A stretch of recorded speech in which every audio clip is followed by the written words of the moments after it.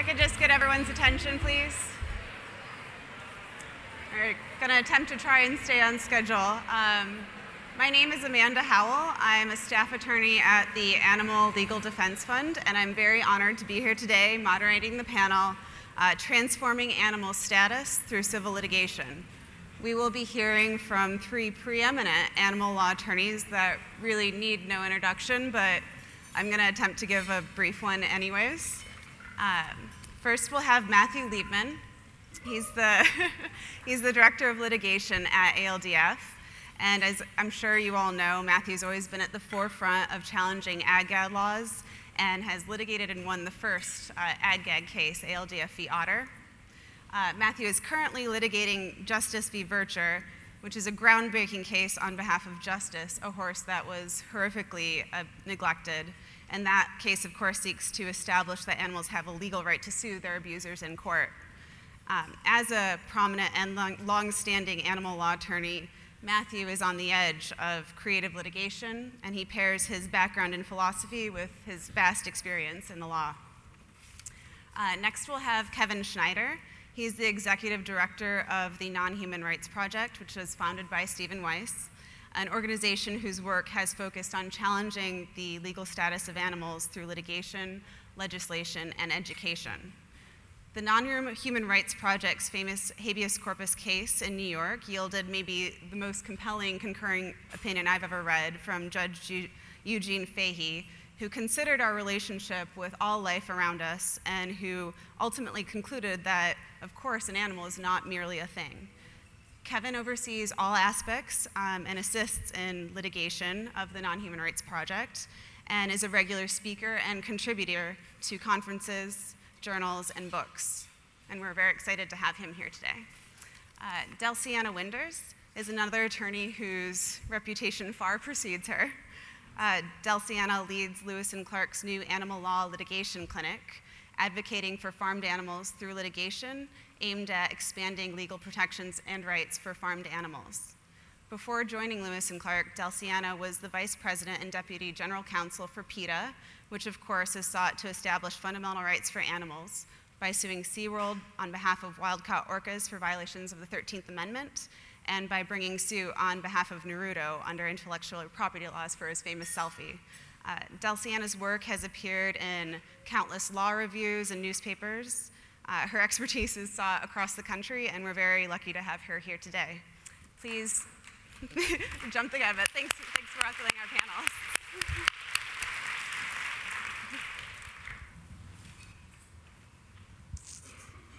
All right, Thanks, Amanda, uh, and thanks to all of you for being here.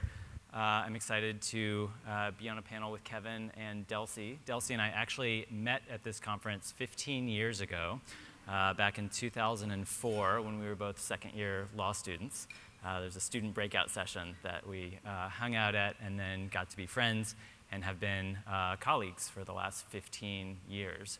Um, so I do want to encourage everyone to take advantage of this conference, sort of get outside of your circle of friends, the people you came with, uh, and really get to know all the folks at this conference. They may be your comrades for, for decades to come. So with that, we're going to be talking about transforming animals' legal status through civil litigation. Uh, I'm going to be talking about uh, the Justice the Horse case um, that I've been working on for uh, a little while now. So who is Justice? The case is Justice versus Vercher, and Justice, the plaintiff, uh, is a horse. Um, he was the victim of animal cruelty, but before I get into the, the details of that, um, I want to sort of talk about who justice is. I think there's an understandable tendency in the animal rights movement to uh, go first to animal suffering, to the things that they've been through. Um, but I want to talk about who justice is before I talk about what, what happened to him. Um, because I think this tendency to view animals merely as, as victims, um, as abject recipients of pity, um, overlooks uh, what I think came up on the panel this morning, which is their vast capacity for a whole range of emotion. So certainly animal suffering is central to the work that we do. It's something we have to reckon with, but it's not the whole picture.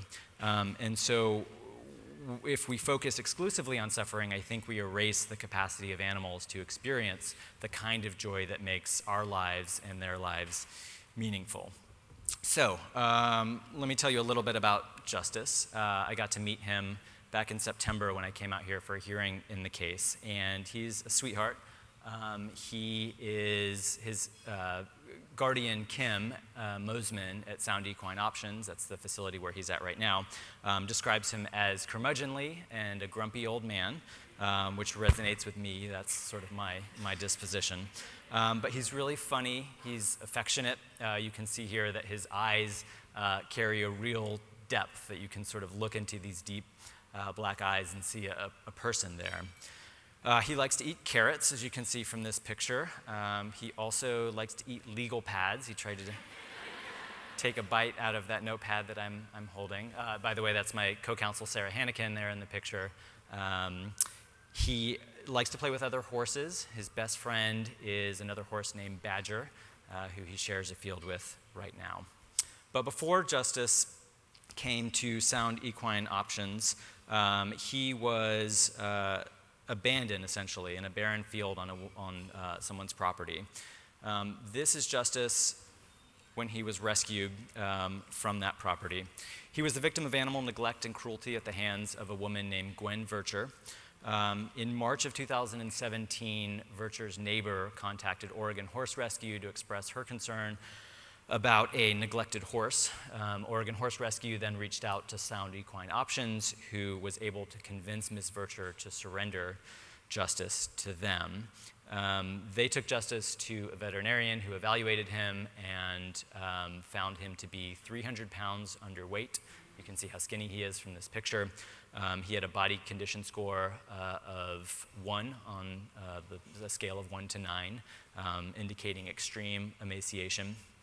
Um, here's another picture that sort of reflects um, how skinny he was at the time of his rescue versus how uh, healthy he's gotten to be now.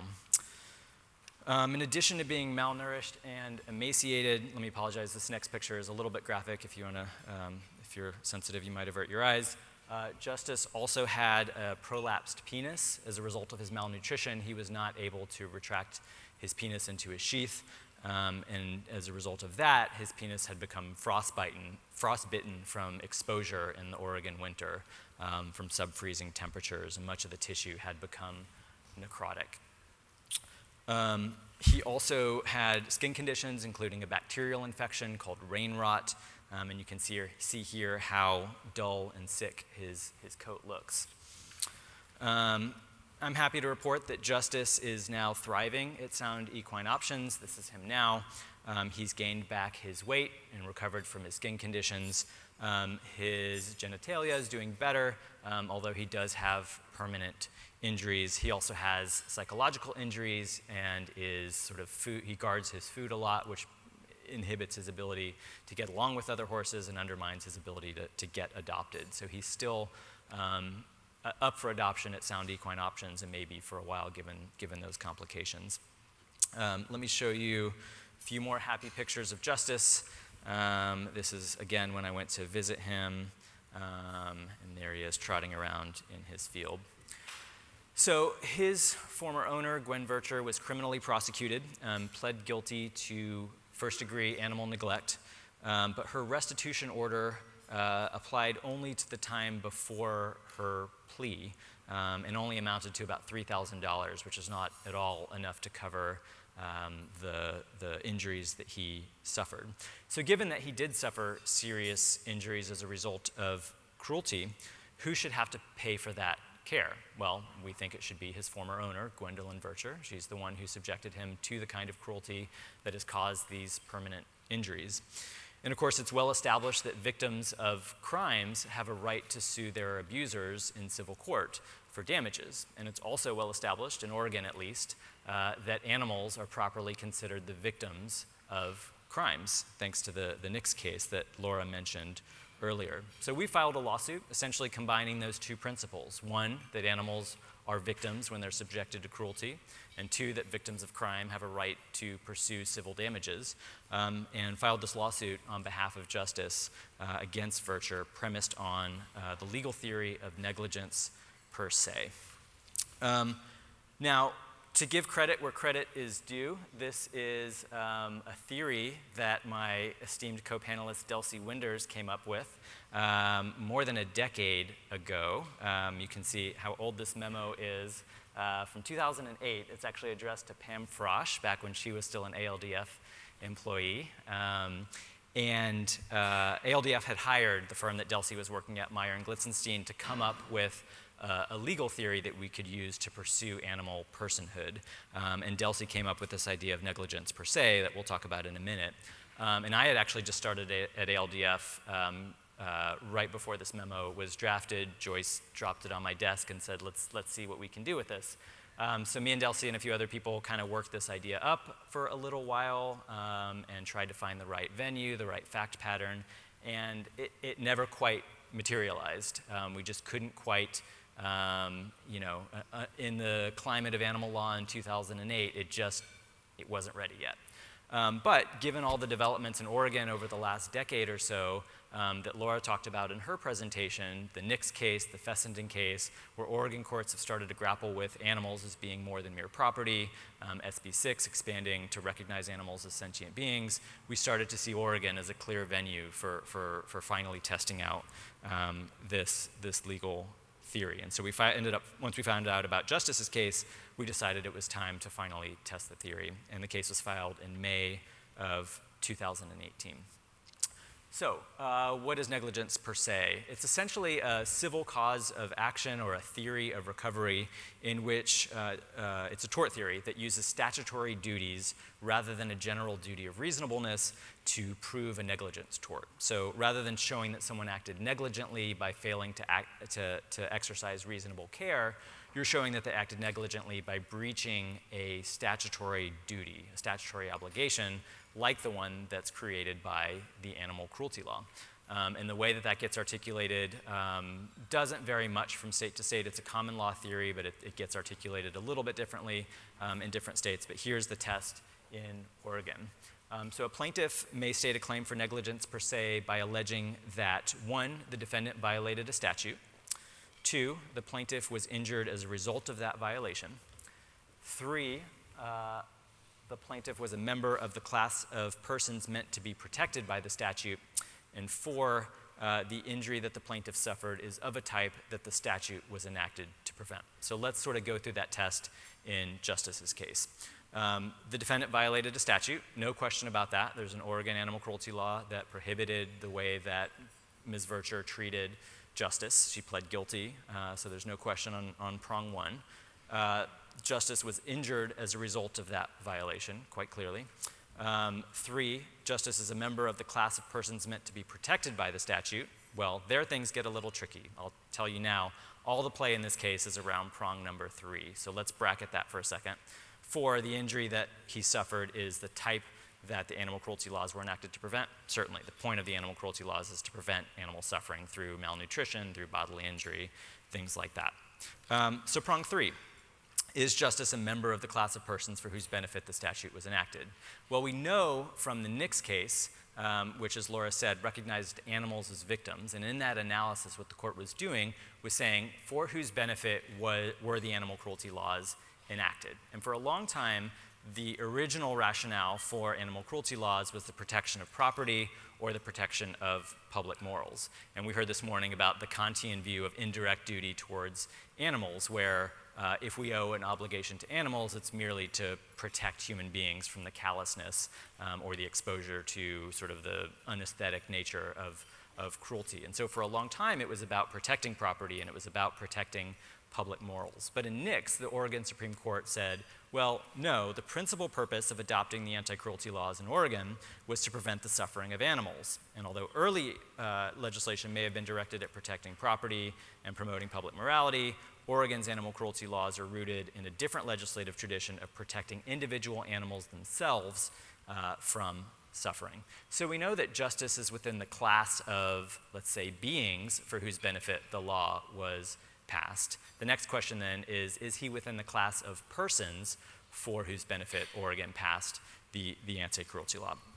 So that raises the question Is justice a person? And that's really what this entire case is about. Um, well, our argument is that um, a legal person is simply any, any entity with legally protected rights to whom others owe a duty of care. And animals fit that bill.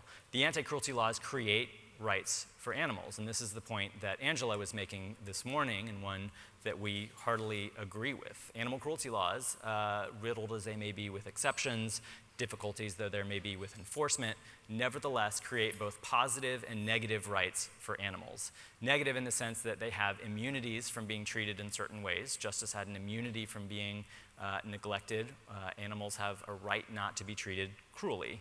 They also create positive rights, uh, that is, an entitlement to something. So, justice, by virtue of being the, the, within the custody of Ms. Vercher, had an entitlement to adequate food, water, and shelter.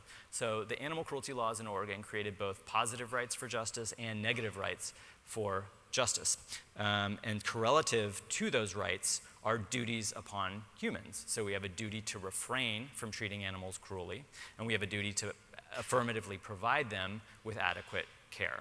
So the animal cruelty laws create rights uh, and they create duties um, in animals. And as simple as that is, that makes animals legal persons. Animals are already legal persons because they are the recipients of rights to whom others owe a duty.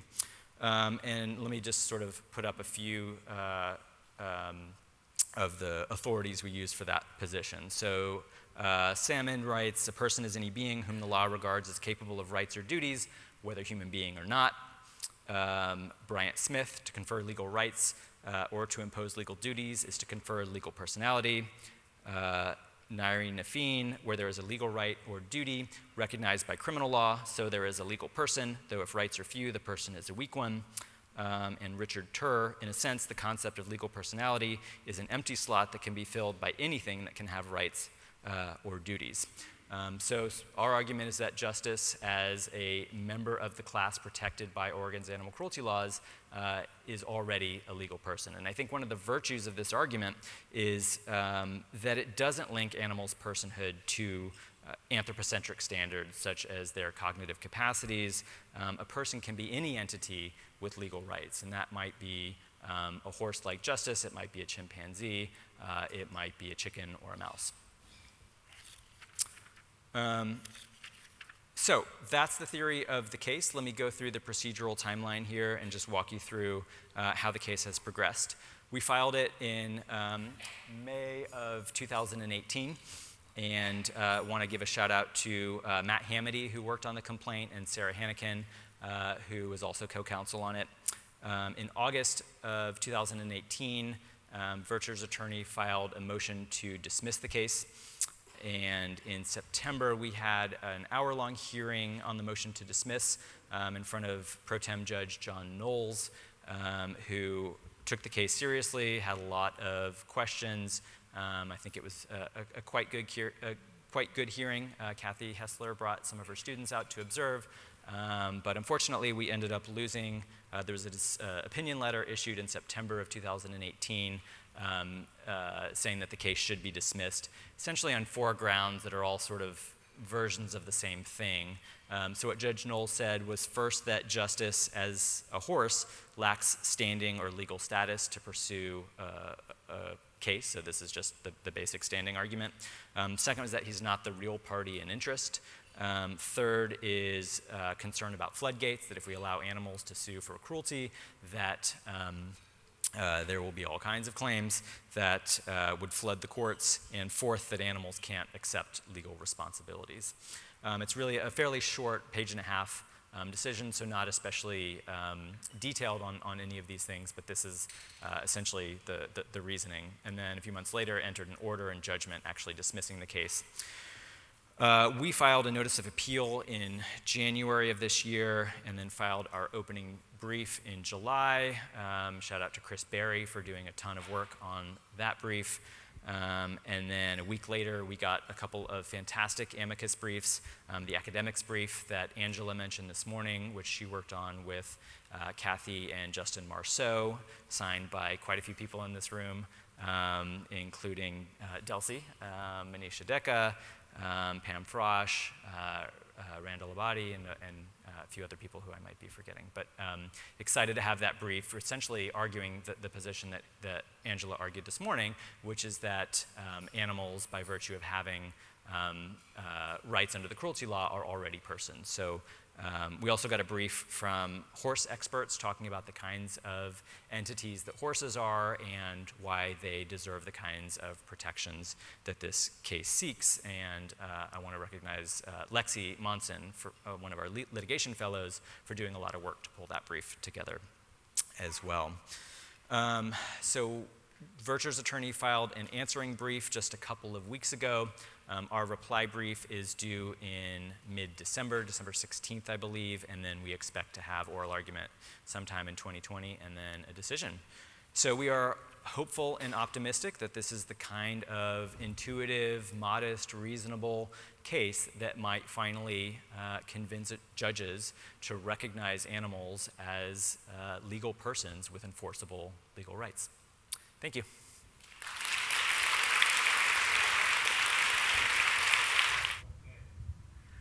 So we got a lot to uh, cover here, so I will just jump right in because I know we want to leave as much time as possible for discussion.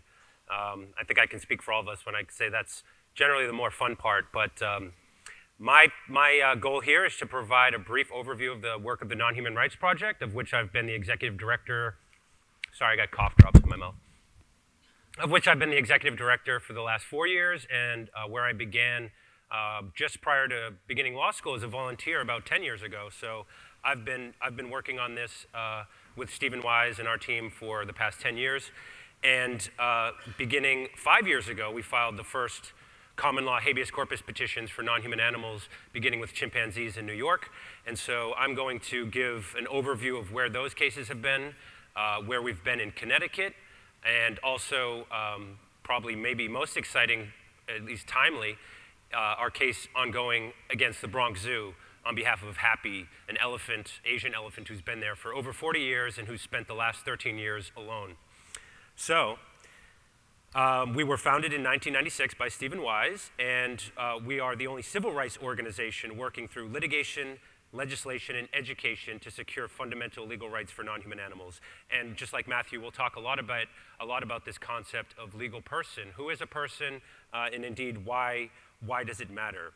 And uh, you'll see there, you know, the fundamental problem that we at the Non-Human Rights Project are out to attack is this categorical thinghood of every non-human animal, um, at least in the United States. And a bit later, I'll talk about some of the encouraging developments that are happening outside of the United States. So why legal personhood? Why, why do we have to go to this? I think it's common. Some people hear this for the first time, and they're like, well, do we, do we really need to do that? Animals already have rights. Well, the fact is they don't and they can't because under our legal system, under the common law that forms the backdrop of our legal system, it's split into these very crude two categories. And, and no one's here to defend that. We're just stating what it is. And you can be a thing or you can be a person. And like uh, Matthew with those really helpful um, four uh, excerpts from you know, different uh, uh treatises on the topic, you'll see that uh, while we have all kinds of connotations around the word person, it's, it's a loaded term in so many ways. When you really get down to it in the, in the law, all that it means, a person is a, a vessel, a container, essentially, that can have rights, one or more rights or duties. Um, just really briefly, we had an interesting back and forth in one of our cases um, two years ago, two, three years ago, in which one of our researchers, Spencer Lo, found, uh, discovered that Black's Law Dictionary actually had the wrong definition of person. In their 10th edition, they said that a legal person is blah, blah, blah, the subject of rights and duties. So they essentially misquoted Salmond, which you saw uh, Matt just talked about. And we actually got uh, Bryan Garner, the editor of the Law Review, uh, Black's Law Dictionary, to change the definition of person. So if you now look it up in the 11th edition, it actually is correct and it says rights or duties. And we'll get into why that is extremely important, I think, um, for all of us who are trying to expand personhood and rights to any non human animal. So there are, uh, and here's a recent example from New York that I think really kind of encapsulates where we're at um, across the board. Judges really want to be able to do more for animals. I think we've all seen this in, um, in the better cases. eh, but they're constrained by the legal thinghood of animals. Uh, you'll see in this recent uh, county, uh, it was a custody dispute. Uh, you know, the, the, the judge said, this court concludes that it is time to declare that a pet should no longer be considered personal property like a table or car. And the reason that he uh, reached this in this case, like any other time you're having a legal argument over uh, the interests of an animal, uh, and folks who have, have, looked at custody will be familiar with this. In New York, there's been this battle over whether the best interest standard can ever be applied, because while some judges, it's intuitive, it's obvious, this cat, dog is a member of the family and should be treated, you know, not like a table or car. There are other judges who say, well, wait, look, they're still things. How can we look at the best interest of a thing? So you see this growing tension, and I think a lot of it comes down to the fact that we have this common law. We're stuck with this, this crude binary. You can be a thing, you can be a person. Uh, when, when we all know in our own lives, and I think even more so with science and other developments, that that doesn't comport with how most of us see the real world. But it is still the language of the law. So to go into our cases a little bit more about you know, how we structure the argument about how any animal can be a person, um, you know, there is really no formula for creating a legal person. I think that can come as a surprise to certainly non-lawyers, but even lawyers and judges. Um, this is the sort of thing that we really have not had to think about very deeply for hundreds of years, if in some ways ever. Um, the, the question of what makes a person, you know, you heard Matt uh, talk about some of the ways that we might get there, but for us uh, at the Non-Human Rights Project, we have chosen to um, approach the question, at least from the onset, through the lens of autonomy. And we don't do that. I think there's a, a sort of a, a, a, misapprehension that comes uh, with our work sometimes that we're somehow exalting human-like or really cognitively complex animals above all others. But that's really not the case. Our, our argument is that, look, you have a million species of animals. They're all going to have very different interests. But we know that at least some of them scientifically, demonstrably, are autonomous, and we'll talk a little bit more about what that means in this context. And that's significant not because we say it's significant, it's significant because there's hundreds of years of case law that protects autonomy.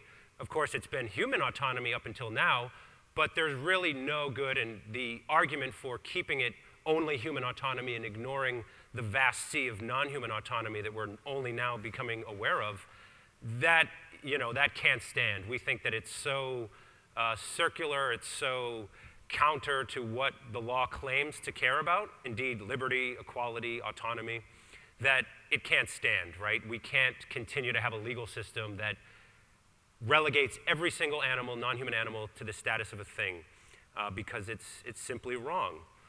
So what do we mean by autonomy here? A, an autonomous being is a being who can, a self-initiating being, who performs intentional, intentional, adequately informed actions free of controlling influences. So in, in other words, it's, it's, a being that's not cabined by instinct. It's not dictated to by its internal mechanism to act a certain way. And you know, it may be the case that many more species are autonomous than we know, but for now, as science has the point that it's at now, um, the species that we know are autonomous, really beyond any real reasonable doubt, are both species of elephants, so African and Asian elephants, uh, the four species of great apes, uh, gorillas, orangutans, bonobos, and chimpanzees, uh, as well as cetaceans, dolphins, and whales. But also, it, it would appear African gray parrots and uh, possibly corvids, ravens, and crows, and other birds as well. But again, autonomy is not a, and here you see um, kind of an example of how seriously the common law treats autonomy. Uh, I think one of the best examples, and here's a case called River versus Katz, the, at least in New York, and this is really the prevailing law, that a human of sound mind can refuse life-saving treatment. And what we draw from that is the court saying that this notion of autonomy, of free will, of free choice, is more important even than the state's interest in keeping human beings alive. In other words, it's a really important thing. And so, um, oh, I'm jumping ahead here a little bit. But so in our cases, we present scientific evidence that shows, again, beyond doubt, that at least these species are autonomous. They have so much going on inside their heads that is so much like how we view the world, how we process the world. Uh, some of my kind of favorite um, examples of this, or go-to examples, with regard to chimpanzees, I think most folks are aware of that they can learn sign language and communicate in, and transfer, transfer that to other members of their species without human intervention. And with elephants, the, they're, they're being documented coming back to the same patch of bones year after year of their relatives and picking them up and crying and standing in circles. And clearly, um, to any reasonable person, I think, has to say they are grieving uh, their dead relatives. Um, you know, it used to be the case that this would have been written off as pure anthropomorphism. You know, you're, you're reading human-like uh, emotions into these animals with no scientific basis. But thanks to the work of people like Jane Goodall and countless others, mostly women, uh, who said from the outset, wait, no, these animals are so much more than what they have been described as, you know, essentially things or automatons or, you know, like the Cartesian formulation that animals are really just machines, that there's not, nothing like the cognition that we humans have going on inside of them. But again, we now know that to be completely scientifically false. And so we too have run into, um, over the, the last five years, uh, the kind of, and I'm going to summarize here, the main oppositions to, again, any animal having, being a person or having rights. Because while we bring these cases on behalf of one or two or three individuals, at least so far in the habeas uh, cases, the judgments and the opinions that we get back, both negative and positive, speak much broader than you know, simply the one or two uh, individual plaintiffs that are brought before the court. And we think that's important and significant.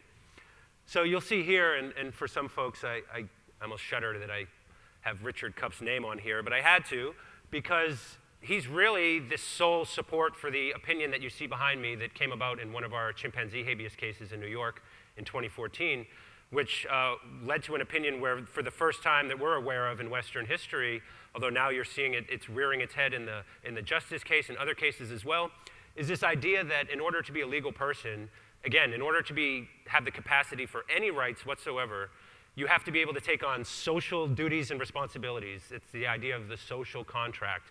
And we've spent a lot of time, uh, including in several amicus briefs, really attacking that because it's not only an unsupported notion from history and kind of philosophical logic, but it's also a really dangerous one, not only for animals and other beings, but uh, for other humans, vulnerable humans as well, because it doesn't take a whole lot of thinking to realize that there are many human beings that don't fit this, and some who never will fit this definition. And yet, we don't say that someone in a coma suddenly is a thing and doesn't have rights, or a child doesn't have rights because they can't take on duties. Uh, you know, that's just never the way uh, the law has judged who gets to be a person and who doesn't. And really, I think that in all of our, in every case that is starting to question this assumption, um, you know, we see this as obviously it's a frustrating thing that we have to deal with, a hurdle, but is we think, really testament to the fact that the judges can't come up with anything much better. And this is, this is the juncture where we're at, right? The first time that people are really bringing these claims to the courts and forcing them to process these issues for the first time.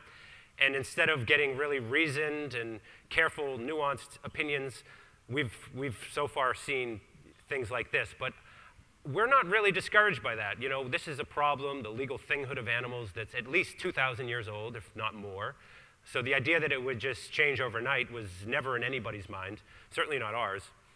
Um, and so you'll see here um, the argument, very similar, another case in New York, um, habeas uh, appellate decision that, that, uh, that turned us away.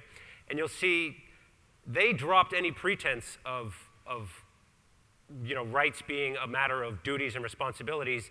So in response to the argument that I just described, it's sometimes referred to as the argument from marginal cases, um, they just kick it back to this idea that, well, these are all members of the human moral community. But of course, the irony of that is that if you look at the state of the law over the last two or three hundred years, you'll see that for most of that time, most human beings were not treated as full persons under the law.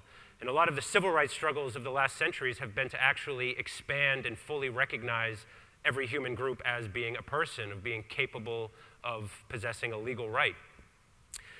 And here in Connecticut, uh, I mentioned we've filed a habeas petition on behalf of three traveling uh, zoo elephants in 2017. Sadly, uh, two of them have died during the pendency of that case. Uh, we've tried to bring that to the attention of the courts and the urgency of it. Um, but so far, the uh, courts, including here the appellate court in Connecticut, the mid level court, have really just doubled down on this idea that not only are duties and responsibilities in the social contract uh, a necessary predicate for any rights or personhood whatsoever, um, but they say it in a, just the last line there completely flat. No animal can have any legally protected interest that can be possibly affected. And so that for us is, again, not what we're set out to do when we file these cases, of course, like any of us, but we all, I think, are aware that, again, this is not going to change overnight. And we need to, in essence, really expose just how bad things are before people really understand. Because again, most people, you ask them, they think that animals have rights. They think that the social esteem, the fact that pets are part of the family, that that really transfers into them having rights. But sadly, so far, that has not been the case. And so for us, the idea goes from uh, simply relying on those kinds of arguments to really forcing the courts through the combination of an argument from autonomy, uh, various liberty, equality arguments, to say to the court, look, under the common law that you claim to uphold, you really have to recognize at least this non human animal as a person because there really is no, and this is covered in a, a, a philosopher's brief that was uh, quite influential in our New York cases and continues to be, uh, where, in which 17 American, North American philosophers wrote a brief attacking this very, uh, this very question of do you have to be able to take on duties and responsibilities in order to be a person? And they go into exquisite detail about just how dangerous and wrong that is. Um, just in short, the idea that the social contract is what creates persons rather than persons creating the social contract.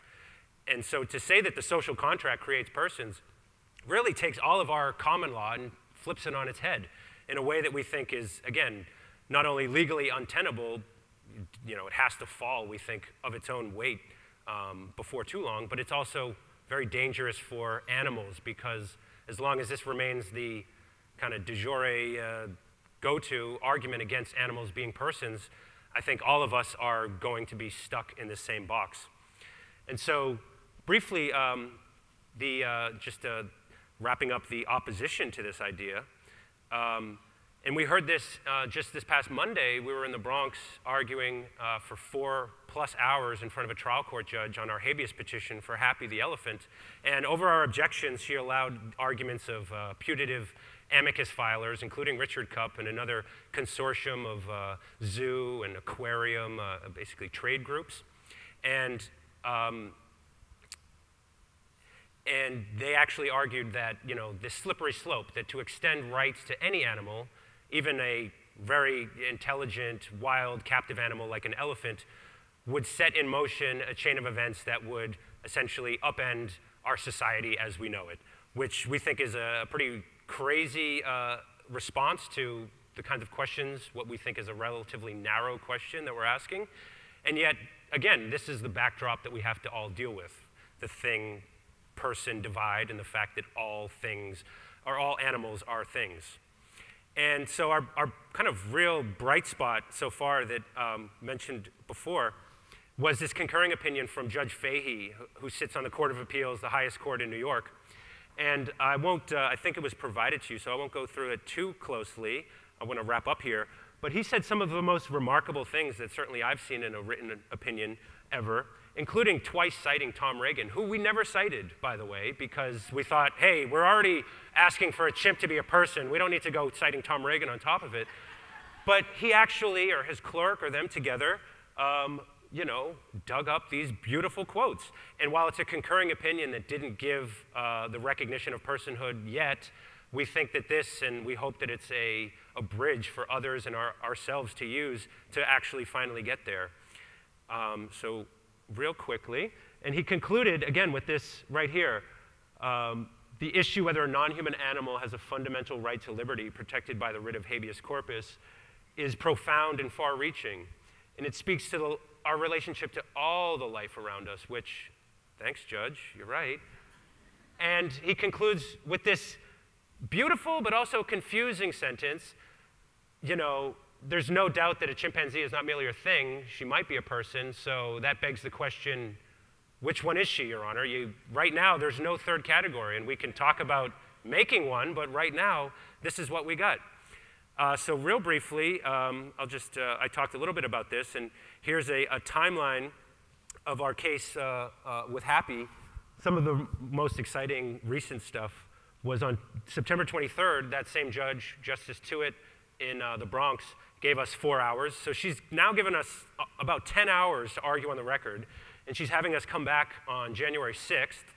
Uh, just a few weeks ago, I was able to get her to grant us a TRO, preventing the Bronx Zoo from moving Happy out of the state of New York, which they vigorously fought over, as you might imagine.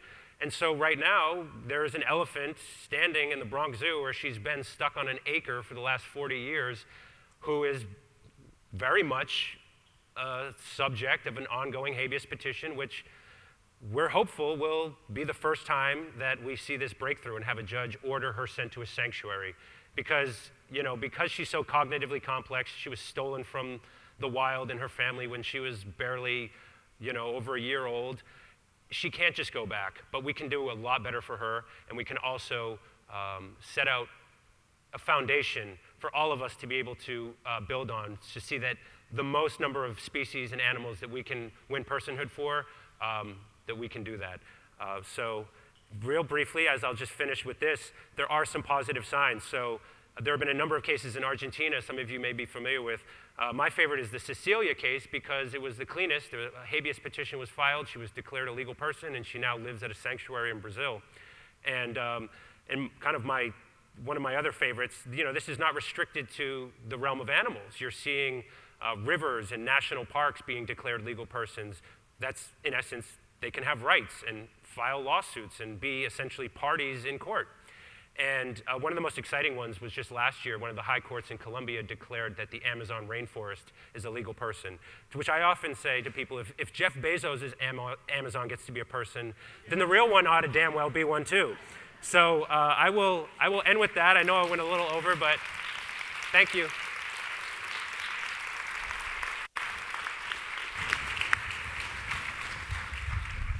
Hi, everyone. So we've just heard some really amazing examples of civil litigation efforts based on common law or judge-made law um, causes of action. And I'm going to shift gears a little bit and talk about civil litigation under enacted law, specifically constitutional law and statutory law. And there are really good reasons for proceeding under common law. Um, judges have a lot of leeway to do things, but as Matthew has written about, we live in an era of judicial restraint, and we have seen that despite the freedom these judges have in theory, they tend to be pretty hesitant to flex their authority. I'm going to focus on US cases only because that's my area of expertise, not because, as we just heard from Kevin, that's the only place these things are happening or should be. There's amazing stuff happening all over the world, and I think there's tremendous potential, particularly in countries with constitutions that are embodying, starting to recognize animals' interests at a constitutional level, and that's happening more and more. So I hope this will just be the beginning of a much broader discussion. So my plan is to talk about two vanguard cases brought under enacted law, and then talk about briefly about a couple other cases that aren't as sexy or high profile, but I think are really important, and then to share some thoughts and reflections and um, ideas about where we should be focusing our efforts going forward in terms of civil litigation on behalf of animals. So the first case I'd like to talk about involves Tilikum, and you can see kind of him in the outrageously tiny tank he was kept in at SeaWorld. This was the first ever constitutional claim brought on behalf of an animal in the United States and it was brought on behalf of Tilikum as well as four other orcas, all of whom had been captured from their homes in the wild and then confined and exploited by SeaWorld. And this case was inspired by renowned Harvard law professor and constitutional law scholar Laurence Tribe, who gave a talk in response to Steven Wise's first book, Rattling the Cage, that was then published in Lewis and Clark's Animal Law Review titled 10 Lessons Our Constitutional Experience Can Teach Us About the Puzzle of Animal Rights. And in that piece, Professor Tribe observed that constitutional law, quote, sometimes confers protections by identifying and prohibiting wrongs rather than by bestowing rights. And it can prohibit those wrongs in terms that are sweeping enough to provide a shield that is independent of who or what the immediate victim of the wrong happens to be. One of the specific examples he gave in this piece was the 13th Amendment, which provides that neither slavery nor involuntary servitude shall exist within the United States. As you can see here, there is an exception for folks who are imprisoned.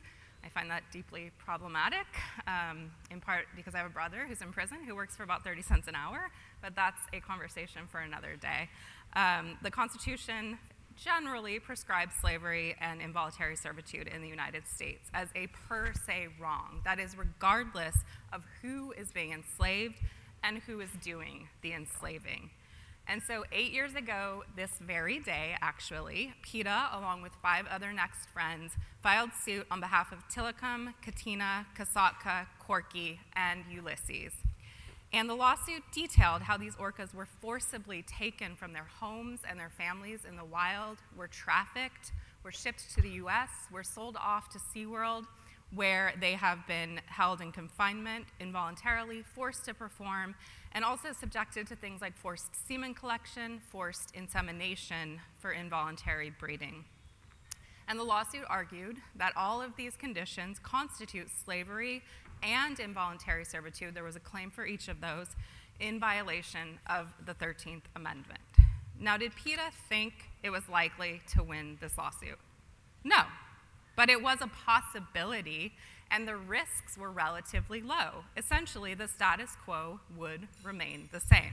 And even without winning in court, a lot could be accomplished. It could raise awareness about the shortcomings in our legal system as it exists today when it comes to the interests of these incredibly intelligent, complex, social, wide ranging animals. And it could potentially lay the groundwork for future legal victories.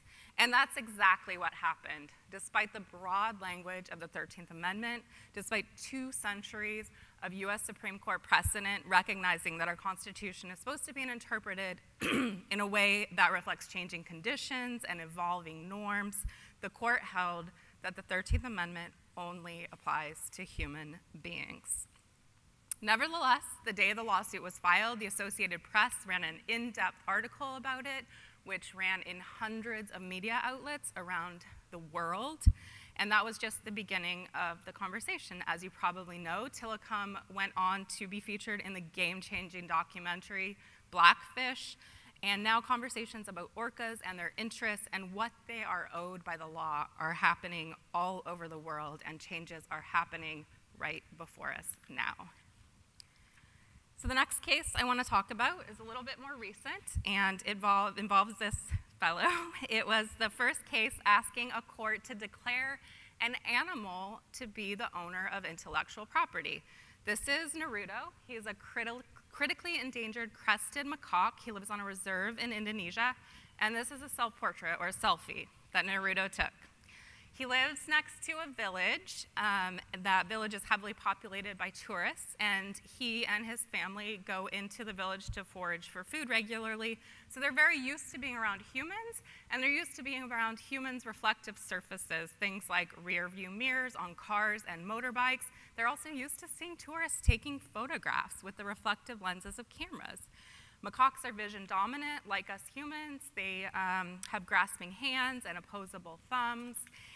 And a nature photographer named David Slater wanted to get a full face portrait of one of these crested macaques. And he learned that they weren't going to go for it if he was behind the camera because that was the equivalent of looking him straight in the face, something that he described as, quote, something that monkeys feel is bad manners. So instead, he set up a tripod with a camera on it and a cable release. And the monkeys were, the macaques were interested. Eventually, Naruto approached the camera. He made a series of faces. He clicked the shutter again and again, and he took this incredible series of photographs. There's another one of them. so, despite it being undisputed, absolutely undisputed, that it was Naruto who took the photos, not David Slater, Mr. Slater went on to claim the copyright to the photographs and to sell them for profit, including in this book, which you can see here, which was published in the United States. Here's a page from inside the book, another one of the photos. And the caption on this photo reads A Sulawesi crested, crested black macaque pulls one of several funny faces during its own photo shoot seemingly aware of its own reflection in the lens. Despite the howling posture, the macaque was silent throughout, suggesting to me some form of fun and artistic experiment with its own appearance. A caption for another one of Naruto's photos in the book reads, quote, posing to take its own photograph, unworried by its own reflection, even smiling, surely a sign of self-awareness. Most notably, in the book, Slater said, quote, the recognition that animals have personality and should be granted rights to dignity and property would be a great thing. I agree, Mr. Slater. but despite all of that, he went on to claim Naruto's self portraits as his own and set out to profit off of them. The US Copyright Act provides that copyright in a work vests initially in the author or authors of the work. And although author isn't defined in the Copyright Act, the law is clear that the author of a photograph is the one who takes the photograph. It is not the one who owns the camera, it's not the one who set the camera up. In addition, the courts have recognized that Congress purposely left, left terms like author undefined to provide for flexibility. So the Copyright Act provides that the author of a work owns the rights to that work and also that they can sue for infringement of those rights.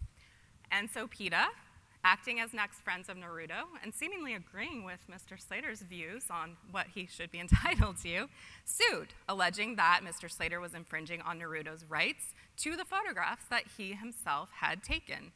And the relief that was sought in the lawsuit was simply that all proceeds from the photographs go to the benefit of Naruto and his family and his community, including the preservation of their habitat, because they are, again, critically endangered macaques.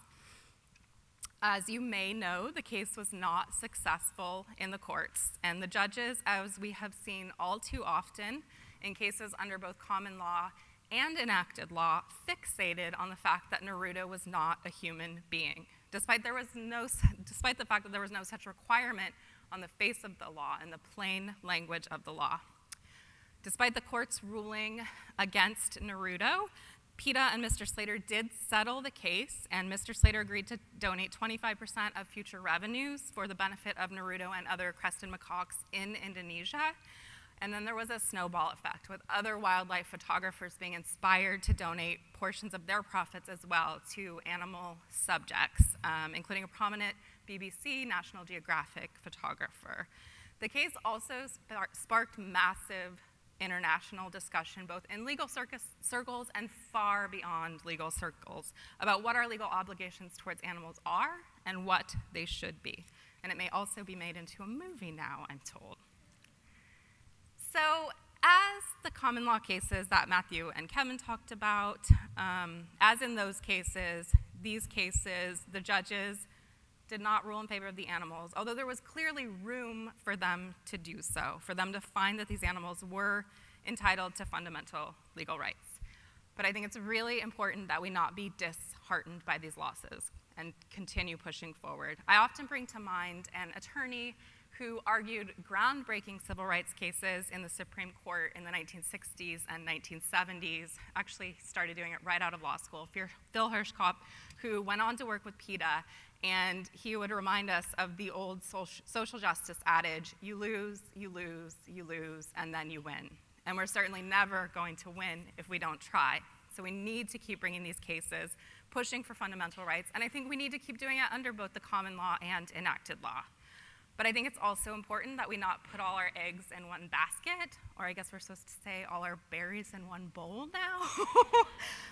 um, Maybe someone can come up with something better than that, I don't know. Um, so sadly, as Kevin mentioned, a number of the elephants, uh, as well as the chimpanzees, on whose behalf um, the Non-Human Rights Project has sued, have passed away.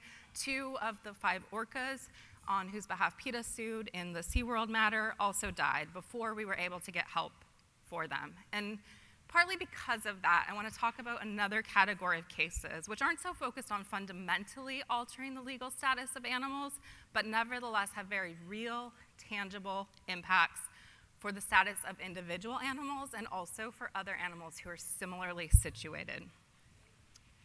So the first involves Joe, who you can see here. And Joe was used for the entertainment industry and then discarded at a decrepit roadside zoo in Mobile, Alabama. And he spent nearly two decades there, uh, completely alone in a tiny barren cages. Visitor, cage visitors were actually encouraged to throw peanuts at him. Uh, PETA filed a lawsuit on behalf of Joe under the Endangered Species Act, and after doing that, they were able to rehome him to Save the Chimps, which is an accredited sanctuary where he acclimated very quickly and is now in a large habitat and has numerous chimpanzee friends. And Joe is one of 10 solitary chimpanzees used for exhibition uh, whose PETA's legal team has been able to rescue in the last few years. And it's believed that there's just one more chimpanzee left in this condition. So hang on, Limbani, someone's coming for you. uh, my next and last example is Ben, and Ben holds a special place in my heart. I've spent time personally with him, both before he was rescued and after he was rescued. He was also the first of more than 100 captive wild animals who my team at the PETA Foundation rescued. He spent six long years at a roadside zoo in North Carolina. He was in basically a dog run, chain link, concrete floor. He spent most of his waking hours pacing back and forth. He was fed dog food on the same floor he was, had to urinate and defecate on. And PETA and the Animal Legal Defense Fund partnered with two local citizens to sue on Ben's behalf under a unique and wonderful North Carolina law that allows um, any person to sue to enforce the cruelty law. And that case was successful. And like Joe Ben was moved to an accredited sanctuary where he's thriving despite everything that he'd been through. This North Carolina law has also been used to rescue other bears, and ALDF used it to rescue more than 300 dogs, which is incredible. So these are animals who, through civil litigation, were given a 180 degree change in their lives and have had very real legal protections recognized, despite the fact that they are still legally property. And I think it's important to mention these cases because they're just a few examples. They are just a few examples. There are many other examples. But I want to underscore that there is not one silver bullet that is going to get us to where we should be in terms of recognizing animals' interests under the law. It is going to take a multi pronged approach. That approach is necessarily going to need to be flexible, context specific, and creative, and we need to use all of the tools that we have. And this means continuing to push the cases that we focused on today for fundamental legal rights under common law, constitutional law, statutory law, but it also means bringing the cases that aren't as sexy, aren't as high profile, maybe as straightforward, seemingly straightforward as the custody case that Kevin mentioned, a dangerous dog case. Um, these can really help animals. And I think this is especially true for animals whose interests are particularly neglected in the law today, animals like farmed animals. We may not secure fundamental rights for these animals tomorrow, but there is a lot that we can accomplish for them through civil litigation, and I hope you'll stay tuned to the work of the Animal Law Litigation Clinic for that. But you don't have to be at a law school and you don't have to be with a major organization in order to do this work. There are myriad opportunities to help chip away at the disenfranchisement of animals through civil litigation, and I hope that you will join us. Thank you, and that's Olivia and Dodger, who inspire my work. Um, might be a little redundant, but I would like you guys to join me again in thanking all of our panelists for sharing their, their depth of knowledge.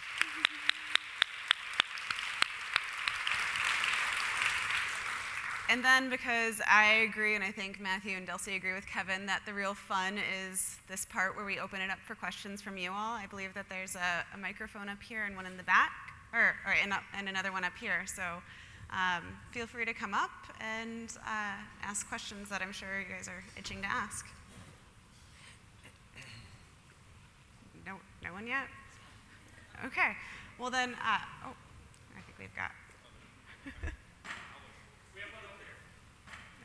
okay. Um, I think we've. Uh. Perfect, thanks. Uh, go ahead. Hi, thank you. Um, I'm Sharon. Hi. Um, so, first of all, thank you. I mean, all three of you just do these amazing things that I think we all agree keep us going, even when uh, the days when we, we feel like, you know, what, are, what difference are we making? And then we think about you guys, and it's huge.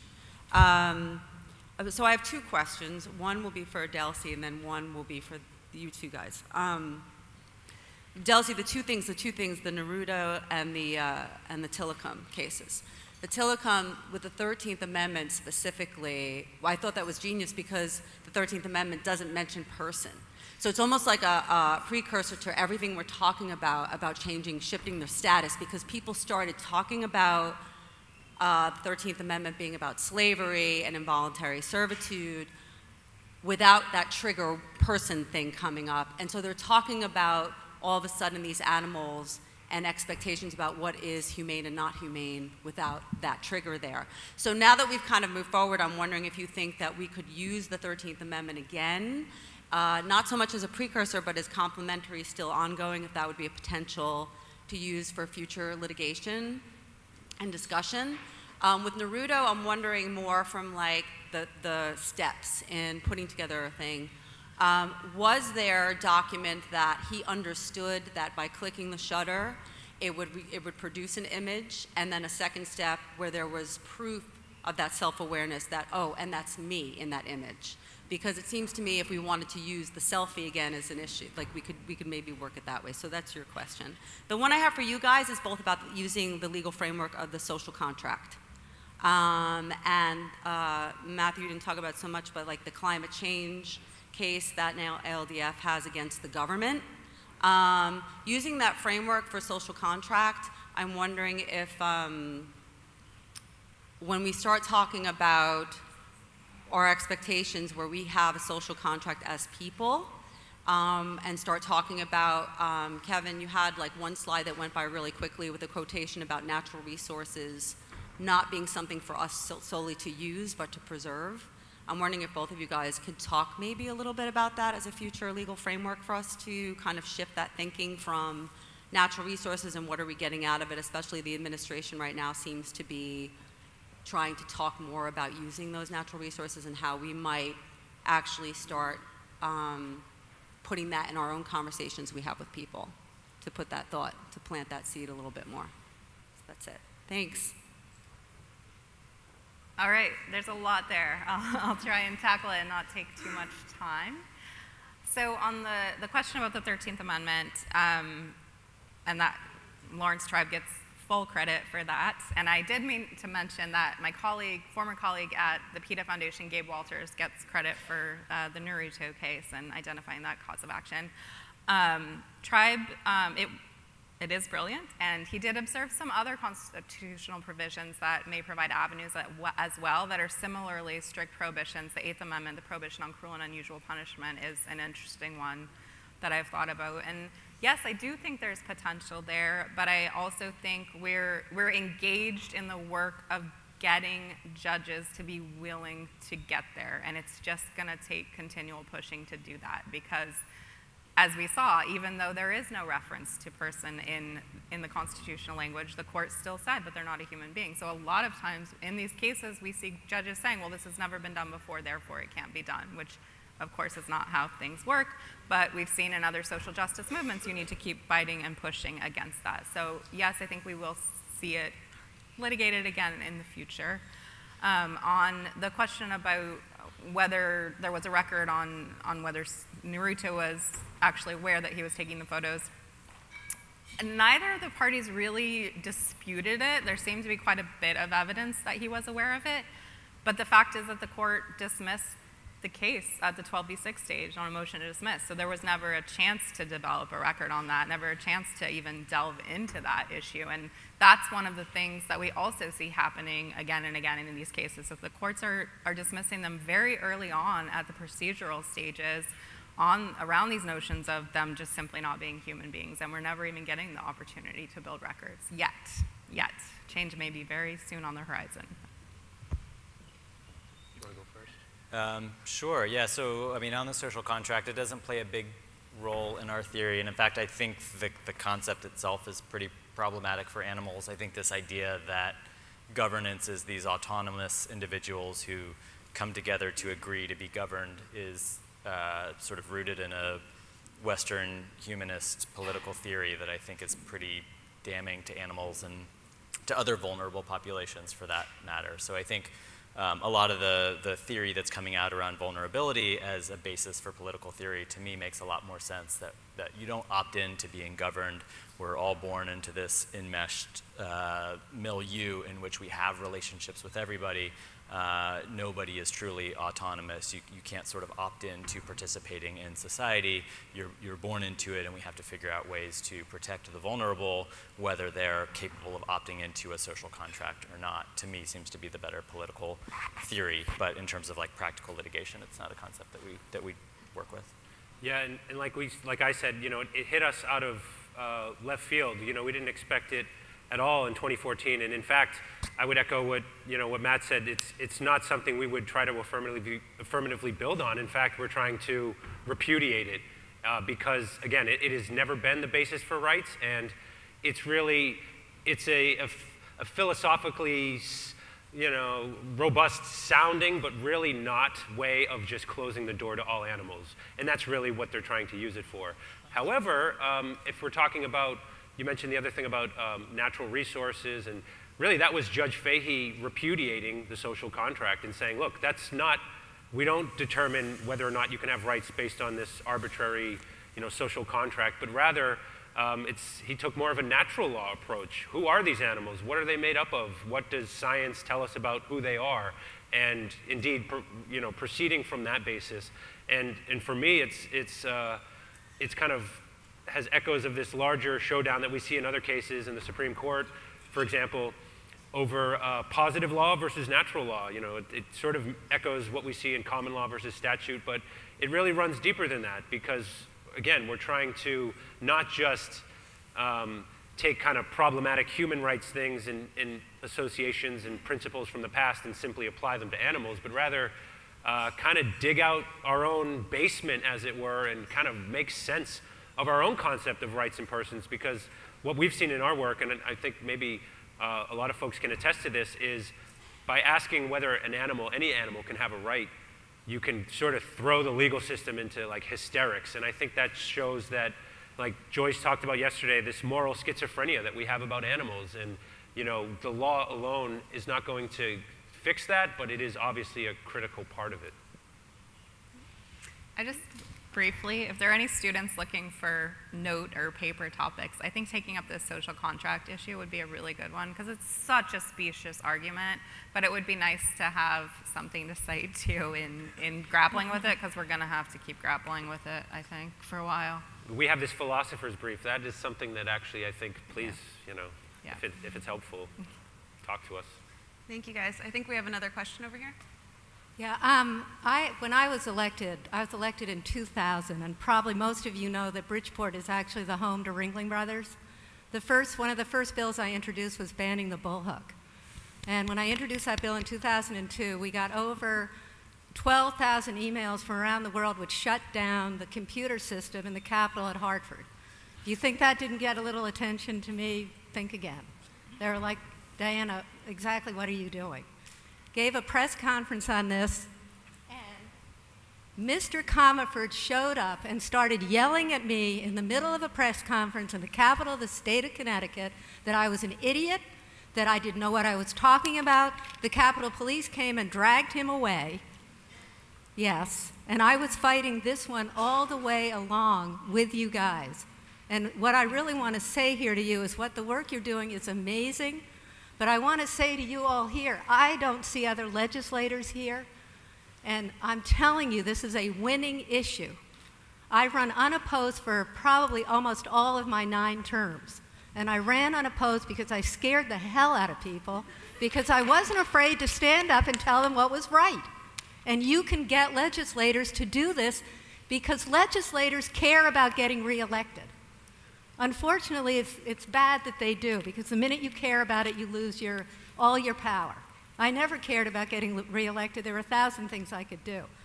But if you give them this issue, you guys, And I'm happy to work with anybody about how to get legislators to understand it's a winning issue. And that's what I have to say because you know what? I want to get Commerford. I want that final elephant to have a home. Yep. Because if he thinks he can yell at me like he did, So he's got another yeah. thing coming. I thank you so much. I Yeah. thank you for. And I have to say, I um, uh, this past week, uh, along with ALDF and lots of other great groups, I was in um, my home state, uh, Massachusetts, in Boston, at the State House, where they're considering a bill that would ban traveling performing shows with big cats, elephants, bears, um, primates. And who showed up at the hearing but Tim Commerford? And we were talking about Beulah, the elephant who just dropped dead in Massachusetts in front of hundreds of fairgoers. And he had the nerve to say that, he was, that she was part of his family. And so, you know, we often see this, uh, this kind of um, this, this, this comeback of, you know, they're family, we love them. And we don't even get into that. You know, we say, we throw our hands up and say, even though we know that's not true, it doesn't matter if you love them, you shouldn't be able to own them.